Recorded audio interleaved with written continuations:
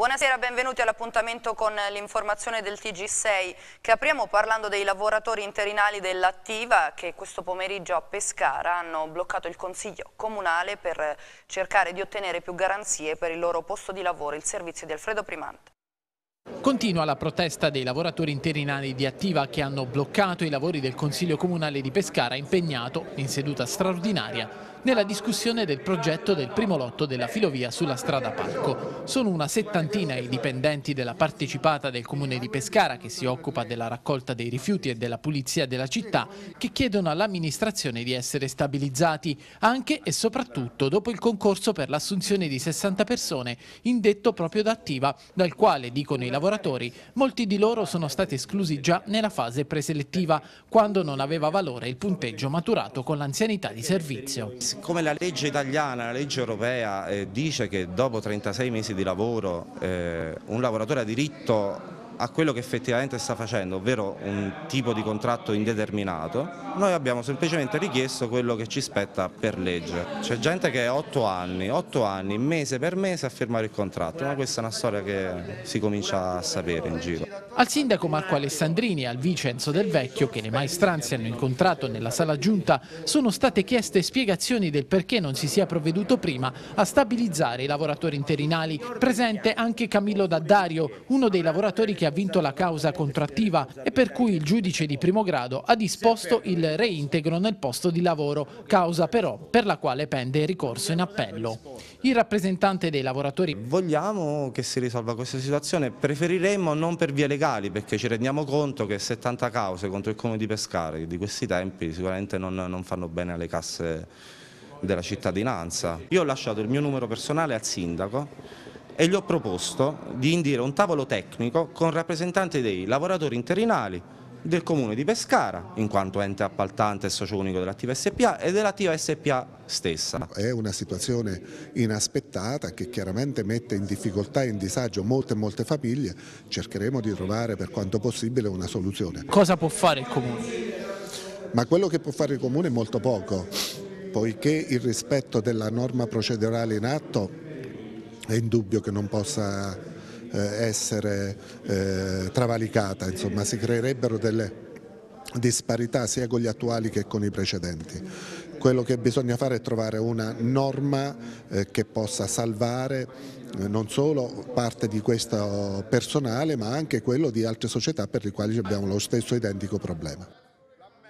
E la protesta dei lavoratori attiva non si è fermata in Consiglio Comunale, infatti nella sera hanno bloccato pacificamente per alcuni minuti Corso Vittorio Emanuele e Piazza Italia, creando qualche disagio prima dell'arrivo degli agenti della Polizia Municipale che hanno provveduto a regolare il traffico veicolare sul posto, anche uomini. Abbiamo costruito questo master plan su questa articolazione di priorità.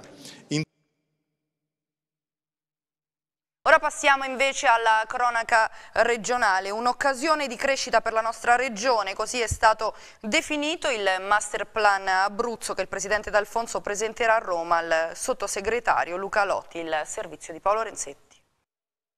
Abbiamo costruito questo master plan su questa articolazione di priorità. Intanto l'ambiente, il risanamento di tutti i siti inquinati, il completamento dell'efficienza dei depuratori, le piste ciclabili per fare in modo che questa sia una regione riconoscibile in Europa per il cicloturismo e per le ciclovie, poi la banda ultralarga nelle zone industriali, poi ancora il completamento del ciclo idrico integrato dal punto di vista della sua efficienza, poi molta trasportistica su gomma, su ferro, su acqua, il completamento dei porti abruzzesi, alcune importanti eh, connettività ferro-gomma per esempio per quanto riguarda la L'Aquila Pescara, per quanto riguarda anche l'aeroporto di Pescara. E poi c'è il quarto lotto della Teramo Mare, c'è l'ultimo miglio che concerne il porto di Vasto, un importante focus di investimenti su Ortona e Pescara. E poi una grande scelta di campo abbiamo fatto su alcuni contenitori straordinari culturali penso alla Badia di Sulmona che verrà completata con 12 milioni di euro, diventa il luogo dello spirito d'Abruzzo, o il manicomio di Teramo, o l'Abruzzo Regione della Vista con la Dompè e l'Università di Chieti e poi ancora lo zooprofilattico a Teramo che diventa oggetto di un importante investimento per i laboratori Insomma, si tratta della pratica, della cultura della priorità e della cultura della collaborazione istituzionale. Noi entro 24 mesi un terzo di questi investimenti devono essere completati, un altro terzo deve essere avviato e poi il resto si sviluppa di qui a 5 anni. E un altro appuntamento importante prima della chiusura eh, dell'anno 2015 è quello del bilancio di previsione regionale proprio su questo argomento il Movimento 5 Stelle dice che c'è poca trasparenza. Il servizio di Daniela Rosone. Si accende il dibattito, come ogni anno in Regione, sull'approvazione del bilancio di provisione della Regione Abruzzo, che sarà votato nella prossima seduta del 29 dicembre.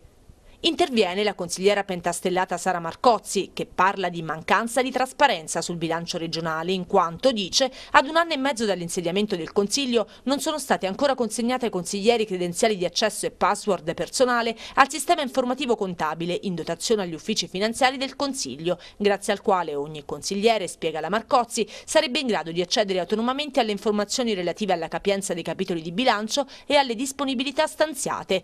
Nel sottolineare che è il secondo anno consecutivo consecutivo che i consiglieri vengono chiamati ad approvare bilancio e legge finanziaria della Regione Abruzzo completamente al buio, il Movimento 5 Stelle afferma che le segnalazioni in questo senso fatte già prima dell'approvazione dello scorso anno sono rimaste sempre inascoltate, nell'indifferenza generale del Presidente del Consiglio, del Presidente della Giunta e del Direttore Generale della Regione Abruzzo.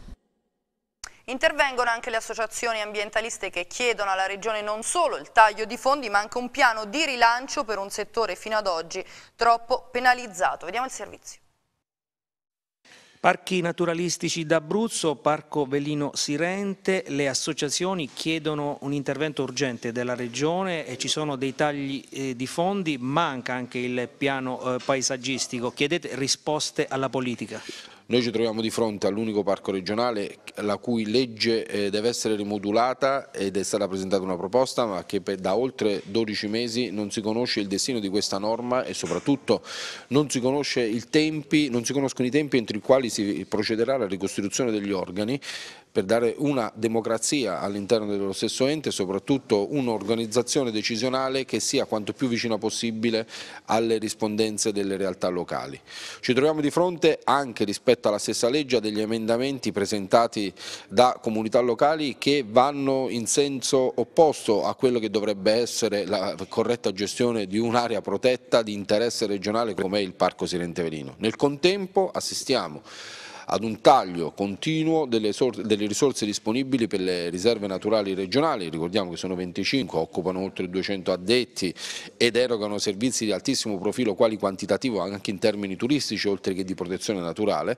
E non riusciamo a conoscere il quantum delle risorse destinate per il 2016 a queste aree. Veniamo da due anni di tagli del 14 e del 7%, veniamo da due anni che, senza che vengano assegnati dei fondi straordinari per le manutenzione delle strutture, veniamo da due anni di caos assoluto rispetto a quelle che sono le esigenze di queste aree protette che rappresentano uno sfogo anche economico per le realtà locali.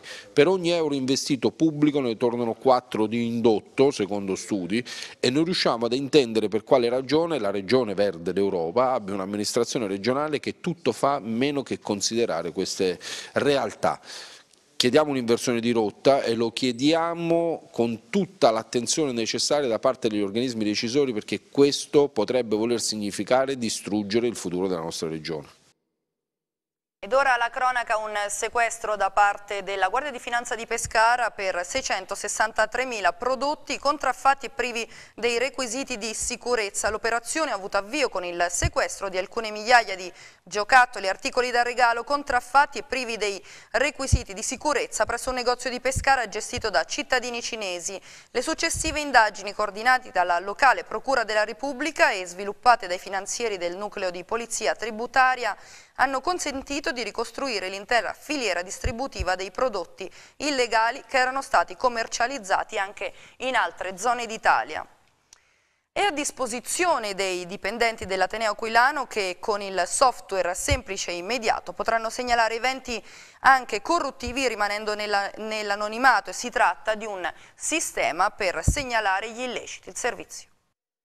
Whistleblower UnivaQ, un sistema con il quale i dipendenti dell'Ateneo Aquilano possono segnalare illeciti o eventi corruttivi mantenendo l'anonimato anche qualora non si arrivi ad una denuncia penale. La parte tecnica del sistema è stata curata da Samuel Zallocco e Francesca Chiusi. Si tratta di un sistema autoimmunitario, un sistema user-friendly facilmente utilizzabile da chiunque. Il dipendente potrà segnalare sapendo di essere tutelato sia dal sistema che dalla legislazione. Un software realizzato a costo zero, basato su tecnologie open source, che usa protocolli assolutamente sicuri. I database per segnalazione dati anagrafici viaggiano infatti su binari distinti. Si tratta di un sistema per la segnalazione di comportamenti anomali o illeciti. Diciamo che un po' eh, un sistema informativo che consente, in forma del tutto anonima, di creare una sorta di sistema autoimmunitario della, di una pubblica amministrazione. Cioè il dipendente che in qualche modo rileva un qualche comportamento anomalo che fa pensare ad un illecito e di cui ne viene a conoscenza mentre lavora, può in forma del tutto anonima e garantita, segnalare questo all'amministrazione perché svolga delle opportuni approfondimenti, delle indagini che potrebbero eventualmente scaturire poi in, un, eh, in una denuncia eh, o in provvedimenti di, eh, amministrativi che in qualche modo mettano l'amministrazione al riparo da eventuali ehm, condotte non corrette dei propri dipendenti, quindi non necessariamente fatti che hanno rilevanza penale direttamente, ma fatti dei quali eh, l'impiegato viene a conoscenza che comunque lasciano sospettare un qualche cosa di poco chiaro e di poco pulito. Si accede al sistema con le credenziali dell'Ateneo. All'accesso va confermata l'informativa sul trattamento dati e si può inserire o la segnalazione o si può verificare lo stato della segnalazione già fatta. L'utente viene anche informato sulla presunta data in cui verrà presa in carica e chiusa l'istruttoria. Ancora cronaca, una donna di 70 anni è rimasta ferita intorno alle 9 a Pescara dopo essere stata investita in via Montefaito a due passi dall'ospedale civile. Secondo la ricostruzione degli agenti del nucleo infortunistica della polizia municipale, la donna stava attraversando la strada in compagnia di un'altra persona in prossimità delle strisce pedonali quando è stata travolta da una Fiat 500. Subito soccorsa dai sanitari del 118 giunti dalla vicina centrale, la donna è stata ricoverata per un politrauma e sospette fratture. Ora invece andiamo a Chieti, un funzionario dell'Università d'Annunzio di 64 anni è stato denunciato dalla Digos della Questura di Chieti con l'accusa di truffa aggravata. L'uomo la scorsa estate avrebbe fatto timbrare il suo cartellino marcatempo mentre in orari concomitanti si trovava in altri luoghi in partenza per le ferie. Il futuro della fondazione intitolata Bertrando e Silvio Spaventa, di questo si è parlato questa mattina a Chieti nel corso di un incontro che si è tenuto al Palazzo della Provincia. Vediamo. Onorare due cittadini illustri del nostro Abruzzo come Silvio e Beltrando Spaventa. Questo è l'obiettivo dell'omonima fondazione di cui si è parlato questa mattina Chieti alla presenza, fra gli altri, del Presidente della Regione Luciano D'Alfonso, della provincia Mario Pupillo e del Rettore dell'Università di Teramo Luciano D'Amico, presente anche l'ex segretario nazionale della CISL Raffaele Bonanni. Presidente Pupillo, un incontro fruttuoso, importante questa mattina con il Presidente della Regione, con gli altri enti, le istituzioni per parlare di questa fondazione e dei suoi obiettivi. Sì, eh, c'è purtroppo una dissonanza che è la legge del Rio, del riordino delle province che in eh, termini legislativi e amministrativi ci toglierebbe la possibilità di partecipare perché le funzioni fondamentali della provincia sono viabilità, sono le scuole e la programmazione del territorio, quindi ci hanno tolto tutte le altre funzioni tra le quali la cultura. Per noi è un'amputazione forte, il Presidente D'Alfonso ha preso l'impegno di poter avere una deroga proprio perché la provincia è parte essenziale di, eh, di questa operazione e quindi noi vorremmo esserci sempre ovviamente se riusciamo ad ottenere questa deroga che eh, auspichiamo possa essere fatta il più breve tempo possibile. Su questa fondazione Spaventa è importante secondo lei fare un gioco di squadra regione, provincia, università e, altri enti? Ma assolutamente sì, eh, Beltrando Spaventa e Silvio Spaventa sono personalità che hanno disegnato la nostra nazione e purtroppo come diceva il Presidente D'Alfonso non sono conosciuti adeguatamente, sono uomini che hanno veramente tracciato il futuro dell'Italia e quindi noi abruzzesi siamo bravissimi a non esaltare le qualità dei nostri conterranei e delle persone che hanno fatto grande l'Italia. All'Aquila il Museo Nazionale delle Arti del XXI secolo, questo è stato l'annuncio del ministro Dario Franceschini, sorgerà a Palazzo Ardinghelli appena terminati i lavori. 150 i cantieri attivi relativi ai beni culturali e almeno 50 lavori già terminati. Questi numeri dichiarati dal ministro. Vediamo.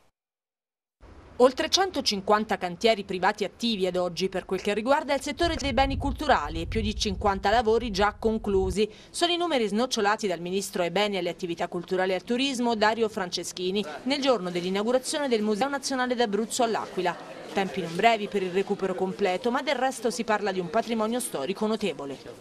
I lavori stanno andando avanti, le risorse oggi ci sono, eh, i cantieri sono aperti, solo per, quello, per quanto riguarda il mio settore, il settore del patrimonio culturale, ci sono più di 150 cantieri privati aperti, ci sono eh, più di 50 lavori già conclusi, ci sono cantieri su interventi pubblici come questo, eh, circa 15 già conclusi e altre decine in corso, quindi il lavoro sta andando avanti, naturalmente è un lavoro che soprattutto sul patrimonio culturale richiede criteri scientifici, attenzione, i tempi non sono brevi ma questa parte è una parte che sta andando avanti, naturalmente come è evidente a tutti gli aquilani eh, non basta recuperare il patrimonio ma bisogna riportare la vita nel centro storico dell'Aquila. Abbiamo fatto una cosa bellissima la, la, prima domenica dello scorso settembre portando tutto il jazz italiano all'Aquila, torneranno i jazzisti il prossimo 4 settembre ancora suonando gratuitamente, sono segnali insomma, di restituire eh, l'Aquila eh, ai propri abitanti significa recuperare il patrimonio ma anche riportare la vita nel centro storico. Il ministro ha ricordato quanto siano importanti queste cose per la rinascita della città. Anche un evento come la Maratona Jazz lo ha dimostrato. Il prossimo anno, il 14 settembre, verrà certamente riproposto. Il ministro ha anche annunciato la nascita in città di una sede distaccata del Maxi di Roma, il Museo delle Arti del XXI secolo, che verrà aperto a Palazzo Ardinghelli, i cui lavori, curati anche dalla Federazione Russa, stanno per terminare. Già è stato chiesto ad artisti contemporanei di donare una loro opera per l'Aquila. Un'idea che non è più un'idea, è una scelta eh, di destinare Palazzo Ardinghelli, cui restauro in fase di completamento con i, delle risorse della, della Federazione Russa, che noi abbiamo integrato con un eh, stanziamento del Ministero per completare l'allestimento delle sale che anziché diventare sede di uffici, come sembrava in un primo tempo, diventerà un luogo di arte contemporanea per cui chiederemo ad alcuni tra i più grandi artisti di arte contemporanea di donare un'opera per l'Aquila e diventerà una sede del Maxi, quindi del Museo italiano per le arti del XXI secolo che avrà insomma, il modo di, di, di offrire un'altra opportunità di cultura all'Aquila. Buoni risultati per la raccolta differenziata a Chieti, ma l'assessore Bevilacqua annuncia di puntare a un'implementazione del porta a porta. Vediamo consuntivo possiamo dire eh, ai nostri cittadini che abbiamo raggiunto e ci siamo attestati al 61%, una ottima percentuale, eh, eh, percentuale che sarà sicuramente migliorata nel corso del 2016, in quanto eh, a breve eh, scadrà e verrà indetta una nuova eh, gara di appalto per gestire i rifiuti a Chiedi per i prossimi 5 anni e con le migliorie che apporteremo nello stesso appalto, grazie all'esperienza che tutti noi abbiamo fatto in questi primi 5 anni di gestione eh, di raccolta differenziata, beh, con queste migliorie sono certo che arriveremo a una percentuale più elevata per restare tra i primi 10 capoluoghi di provincia in Italia come comuni virtuosi. 61% lei eh, ha detto una percentuale da migliorare, secondo lei l'optimum quale eh, potrebbe essere? L'optimum è il 70% a mio avviso, 70-75, percentuale che viene raggiunta spesso dai comuni, dai paeselli, dai comuni più piccoli perché eh, essendo spesso ecco, situati in situazioni abbastanza comode no? con la periferia, con campagna, eh, si prestano sicuramente meglio a eh, svolgere la raccolta differenziata. Purtroppo Chieti, avendo queste due parti della città, Chieti Bassa dove già oggi abbiamo oltre il 70% di raccolta differenziata e la parte alta, quella sul colle, dove dove per conformità del territorio con vicoli e vicoletti, casette piccoline, non avendo spazi né condominiali né all'interno delle stesse case, beh, lì la percentuale si abbassa, si abbassa veramente eh, intorno al 40% e la media ci porta ad avere oggi il 60-61%. Il consigliere regionale Giorgio D'Ignazio, capogruppo del nuovo centrodestra, ha presentato una legge regionale a favore dei minori denominata Interventi a sostegno di giovani già ospiti di strutture di accoglienza e ulteriori disposizioni finanziarie. Vediamo tutto nel servizio di Elisa Leuzzo. Questa mh, legge che poi prende il nome una giornale opportunità ma anche legge di Ignazio perché l'ho fortemente voluta e quindi eh, scherzosamente prende il nome del relatore ed è l'unico firmatario. Quindi io, è una legge che eh, cioè, noi sappiamo che quando i ragazzi vanno nelle case famiglia molte volte vengono adottati ma se l'età è, è, quella mh, chiaramente più, più, sono piccolini più è facile adottarlo. Più, più, più, sono grandi più è difficile. Molte volte capita che questi ragazzi arrivano alla maggiore età senza avere una famiglia, senza avere una scuola. E eh, il, il, giorno in cui si compie il diciottesimo anno eh, viene aperto quel portone e richiuso alle loro spalle ed è una, un dramma perché i comuni non possono più intervenire economicamente con questa legge abbiamo voluto colmare un vuoto legislativo ma soprattutto essere a fianco a dei drammi familiari che purtroppo eh, si vivono giornalmente nella nostra regione e oggi siamo all'avanguardia in Italia. E abbiamo approvato questa legge l'altra notte a cui sono state collegate altre leggi che hanno fatto arrabbiare magari 5 Stelle però il risultato di questa legge era troppo importante e da oggi in poi l'Abruzzo può essere fiero che quantomeno sotto la tutela dei minori ha fatto un passo in più. Ovviamente i comuni del diciottesimo anno diventeranno non più a carico delle, dei comuni che non possono eh, ma della regione, eh, della regione, Abruzzo, questi ragazzi faranno un percorso formativo legato con tutto il giovane, eh, cioè quello che, che la regione Regione mette in atto di formazione, terminano gli studi, formazione e poi avviati al mondo del lavoro. Ora apriamo la pagina dello sport, dopo la vittoria del derby per il Pescare tempo di preparare la partita di mercoledì sera contro il Modena, la partita sarà diretta da Ripa di Nocera Inferiore, da valutare le condizioni di VR non convocato sabato scorso e va verso la conferma il difensore Ugo Campagnaro e con lui in campo il Pescara ha sempre vinto, lo ascoltiamo il primo gol con Campagnaro in campo al passivo per il Pescara, però è andata bene perché è arrivata la vittoria. Sì, importante è quello, eh, al di là di se ci fanno gol o meno, è importante, secondo me abbiamo giocato abbastanza bene, abbiamo potuto anche fare qualche gol in più, anche loro lo potevano fare, però alla fine 2-1 un risultato secondo me che è giusto, e, e vincere fuori casa è quello che ci manca a noi e, e bisogna iniziare anche con queste partite così, un po' sofferte, però alla fine portate a casa i tre punti che è quello che conta. Pescara in cerca di continuità, ora due gare in pochi giorni per chiudere l'anno con altri eh, punti pesanti per la classifica. Sì, sarebbe importante, noi lo sappiamo benissimo, eh, allora bisogna fare questa partita qua che viene in casa eh, mercoledì al massimo per cercare di fare tre punti e dopo dare tutto eh, alla fine, sappiamo, sappiamo che sono partiti, partite ravvicinate eh, e niente, fisicamente secondo me stiamo bene, eh, abbiamo anche un buon ricambio, le possiamo fare tutte e due alle grandi secondo me. Ugo, eh, per quanto riguarda le partite in trasferta, nelle ultime gare erano arrivate delle sconfitte e questa vittoria può servire anche per acquistare maggiore autostima nelle gare eh, che giocate lontano dall'Adriatico? Sì, è quello che, che abbiamo bisogno noi. Eh, noi sappiamo che le partite fuori casa dovrebbero essere uguali che in casa, solo che magari eh, non c'hai la gente che, che, ti può dare la spinta in più, eh, però comunque è un rettangolo, un, un rettangolo 11 contro 11, bisogna fare la partita sia in casa come fuori, sempre uguale. Eh, noi in casa stiamo giocando molto, molto bene secondo me, fuori non tanto, però è un fatto mentale che con partite come queste qua possiamo iniziare eh, a prendere l'iniziativa giusta per farle bene. I problemi fisici che, che, mi hanno fatto mollare il posto sicuramente io penso che, che siano andati via e adesso devo iniziare a fare delle partite con continuità e lì nel mio ruolo ci sono giocatori importanti secondo me perché possono fare benissimo solo che eh, magari un po' le stanchezze che hanno dovuto fare tante partite anche ravvicinate eh, vai un po' in fatica però se i giocatori ottimi anche se si ruota un po' secondo me questa squadra non deve, non deve sentire il cambio. Morale a terra invece per la Virtus Lanciano che mercoledì sarà impegnata nella trasferta di Terni. L'arbitro dell'incontro sarà Ross di Pordenone, il tecnico d'Aversa recupererà sicuramente Aquilanti e spera di riavere a disposizione Vastola. Nulla da fare per Ferrari e Zeduardo, al capitano Mammarella invece il compito di analizzare il difficile momento. Ascoltiamo. Eh, sapevamo che era una partita difficile, credo che è stata interpretata comunque eh, bene da, dal Lanciano Eh, purtroppo quest'anno gli episodi, vuoi che ci ricerchiamo noi, vuoi per eh, non so quale motivo girano contro. Eh, oggi magari ci sono stati gli interventi del portiere magari a negarci eh, quel pareggio meritato che per noi comunque sarebbe stato importante per tanti motivi. Io è normale che nei momenti difficili si dice stringiamoci attorno a questa squadra, aiutiamo, ricompattiamoci o, o ci inventiamo qualcosa.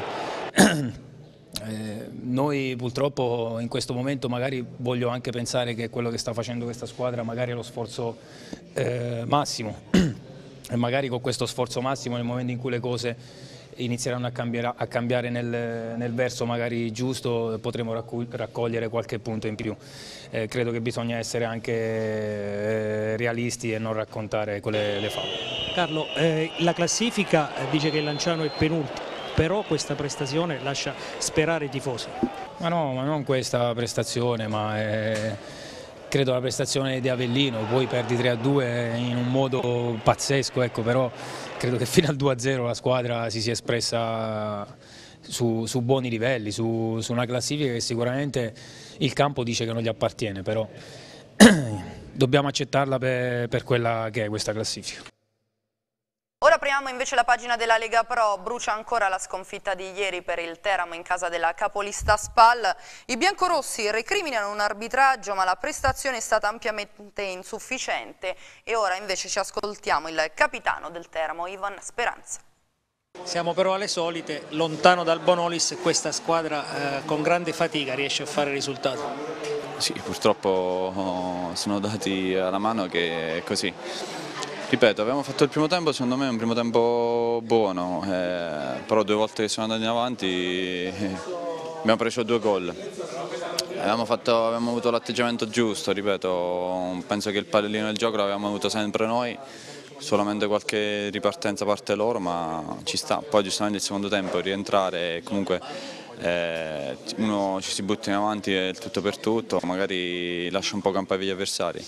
Eh, ripeto, non è una scusante, però regalare due gol così all'avversario non è facile per recuperare. Nel secondo tempo poi avete rischiato di prendere in più circostanze, in più occasioni anche il terzo gol. Sì, sì, sì è vero, eh, ripeto, eh, comunque dovevamo recuperare ehm, il punteggio, quindi ci siamo buttati un po' in avanti con, anche con, eh, con, i cambi, eravamo molto offensivi eh, ed è normale. Eh, siamo stati fortunati a non prendere il terzo gol, però dovevamo rischiare qualcosina in più. Ora l'importante è mettersi da parte quest'anno che è stato a dir poco incredibile per il Teramo, ripartire nel 2016 con un altro spirito probabilmente cercando di invertire questo trend in trasferta. Sicuramente, hai detto delle parole sante, dobbiamo, dobbiamo, cambiare atteggiamento soprattutto fuori casa perché purtroppo, ripeto, facciamo fatica fuori casa a portare qualche punto a casa, quindi mettiamo tutto alle spalle, facciamo queste feste e poi tutti di nuovo a pedalare per, per fare una, una, seconda parte di stagione alla grande. Tra poco eh, riaprirà anche il mercato, Speranza resterà a terra così? Ma si parla di voci, io non, ripeto ancora una volta. Non parlato nulla. ultimamente anche del Pescara. Ma non ne so nulla assolutamente, ripeto, io sono, sono al Teramo, sono concentrato qui al Teramo, eh, non sono andato via nemmeno quest'estate dopo tutto quello che era successo perché tengo molto al Teramo. Dell'inchiesta di Irti Soccer. Si terrà lunedì 11 gennaio alle 9 della mattina nei giorni seguenti presso l'hotel NH di Vittorio Veneto l'udienza del Tribunale Federale Nazionale relativa ai deferimenti della Procura a carico di 29 società di Serie B, Lega Pro, Lega Dilettanti e 52 soggetti riconducibili alle società in questione. I deferimenti riguardano l'inchiesta di Irti Soccer sul calcio scommesse avviata dalla Procura della Repubblica presso il Tribunale di Catanzaro, davanti al collegio giudicante compariranno l'Aquila Calcio e l'ex responsabile dell'area tecnica Ercole De Nicola. Pomeriggio da dimenticare quello di ieri per il Chieti battuto dalla Jesina per 2-0 dopo le reti di Pierandrei e, e Trudo nel primo tempo la reazione dei neroverdi è stata praticamente nulla, vediamo. Ultima di andata al Carotti di Iesi, le Leoncelli affrontano il Chieti che entra in campo indossando una maglietta con scritto Forza Cristiano, giocatore dell'Atalanta e fratello di Federico Del Grosso, capitano dei Neroverdi, vittima nei giorni scorsi di un grave incidente d'auto. Il primo squillo della gara lo suona Trudo al decimo minuto con un tiro dal limite fuori misura. Risponde subito il Chieti con Dos Santos che serve Fiore, l'esterno teatino prova la conclusione ribattuta. Al minuto 14 gran idea di Strappini che serve Carnevali col contagiri, il numero 3 di casa tenta la girata e attento Fatone. Ancora Iesina avanti, ci prova al diciottesimo Strappini dal limite dopo uno spunto di Trudo, la palla finisce al lato. Al minuto 24 la Iesina va in vantaggio, ancora Strappini, ispirato, apre brillantemente per Pierandrei che batte Fatone con un preciso diagonale. Alla mezz'ora ancora pericolosi, padroni di casa in contropiede, Trudo è lesto ad arrivare prima di tutti e mettere al centro. La difesa ospite riesce in qualche modo a sbrogliare. Jesina che si difende bene chiudendo ogni spazio per Dos Santos e compagni. Il brasiliano deve dunque trovare soluzioni alternative provando dalla lunghissima distanza. Niosi para in due tempi.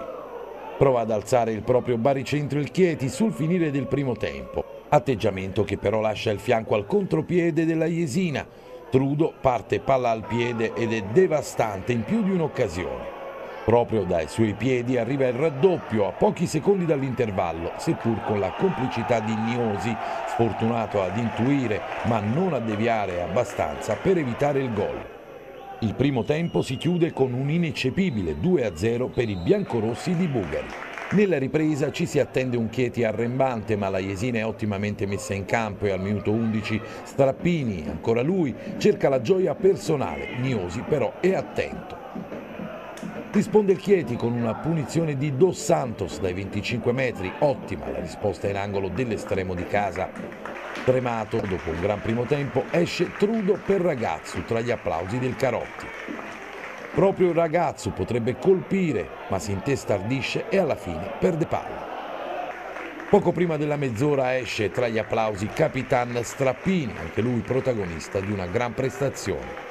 Poco dopo, secondo giallo per Carnevali, la Jesina resta in 10. Al 34esimo Comini ha sul destro la palla per riaprire la gara, Fiore imposta per Varone, la palla arriva al numero 20, ospite che impatta male il pallone. Minuto 37 ci prova ancora Fiore dalla distanza, nulla di fatto.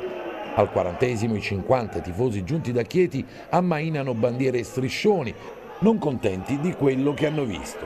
Allo scadere ci prova Verricchio Niosi, para in due tempi, finisce 2-0. La Jesina chiude il 2015 con tre punti pesantissimi. Brutto stop per il Chieti, apparso con la testa già in vacanza. Il TG6 finisce qui, il prossimo appuntamento con l'informazione torna nelle edizioni delle 23. Grazie per essere stati con noi.